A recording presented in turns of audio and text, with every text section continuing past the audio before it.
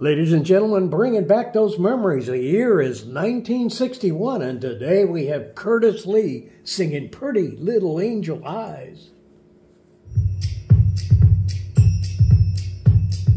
Pretty little angel eyes, pretty little angel eyes, pretty little angel, pretty